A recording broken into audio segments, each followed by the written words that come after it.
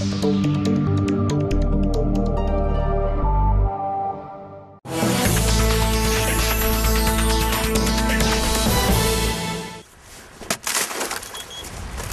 best not to venture into this river without the proper equipment.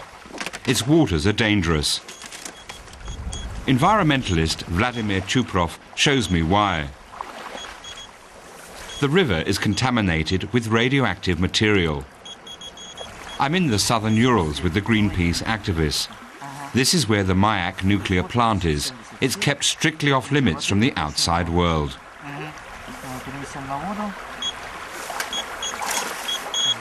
Vladimir Chuprov tells me the radioactivity here at the river is up to 20 times higher than normal. He explains that radioactive material gets into the river, the Techa. It's new material currently produced by the Mayak plant from processing nuclear fuel from power plants and research reactors. Chuprov says the Techa has been radioactive since the nuclear plant began operations some 60 years ago. The Soviets pumped waste directly into the river for many years, and entire tracts of land were contaminated. That includes the village of Muslyomovo, some 80 kilometers away, which today stands in ruins. The Russian government has been relocating the residents for the past three years, for a long time, the people in Muslyomovo know nothing. They swam in the radioactive river, say Sania and Saki Abdulin, even though the authorities forbade it. They grazed their livestock on the riverbanks and used the water for drinking and watering their gardens. They say they only learned what was happening in 1992, when President Boris Yeltsin visited. He explained that everything here was radioactively contaminated and that they had to be relocated.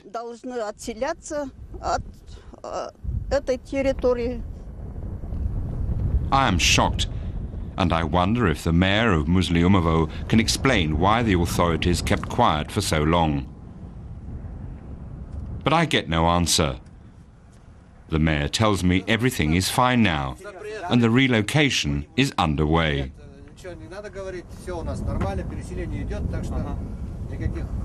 I can tell the subject of Mayak is still uncomfortable for the authorities. I set off to see how the villagers have been relocated. Sania had invited me to her new home in New Musliumovo, not even four kilometers away from their old village. The local authorities said that was sufficient. But that makes Sania angry. Her now 46 year old son was born mentally handicapped. The public health officers say he was damaged by radiation in utero. What does she think about the fact that Germany now wants to send to Mayak nuclear materials that the Soviet Union once shipped to East Germany? Sania says they don't need it. They're contaminated enough here. She wonders why they're still being so mistreated. They're like guinea pigs. They're constantly being tested. But their health keeps getting worse.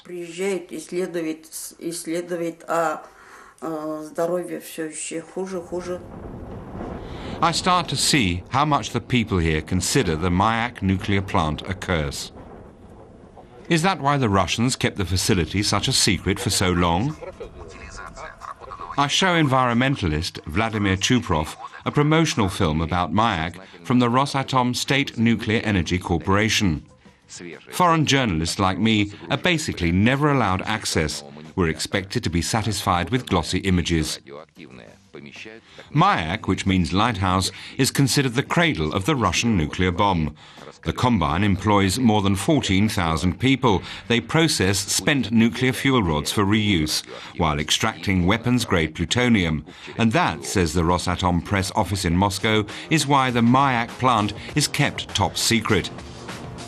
They say that's no difference from how it is in other nuclear powers like the United States or France, and it has nothing to do with safety deficiencies. Vladimir Chuprov thinks the company wants to earn profits at any cost. He says the secret services and police are protective of Rosatom's commercial secrets, the commercial secrets of the nuclear lobby, not just in Russia, but in the whole world. Chuprov shows me the extent of the radioactive contamination.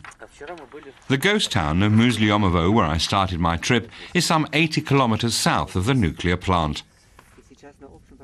Together, we visit another village, some 70 kilometers northeast of Mayak. The settlement is called Karabolka and it's home to some 300 people. When there was an explosion in 1957 at Mayak, a radioactive cloud drifted over Karabolka. It was harvest season in the village. Gulchera Ismagilova, who's known Chuprov for years, was 11 years old back then.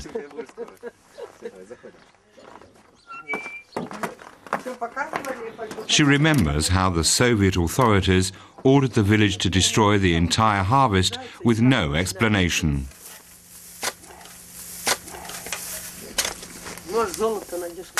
Vladimir Chuprov explains that the radioactivity, which is still a threat to this day, is in the soil. He says that the radioactivity that settled back then is still in the soil, and the people here are still affected by it, especially through what they eat, the vegetables and other food they grow. The radioactive particles then contaminate them from within, especially the strontium. Gulchera should really only buy food and firewood that's not from her village, because radioactive strontium is stored in bones and teeth, from where it can affect people's health. But her monthly pension of 150 euros isn't enough for that.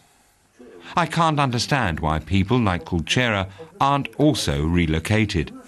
Vladimir Chuprov says no one can explain why this village hasn't been relocated.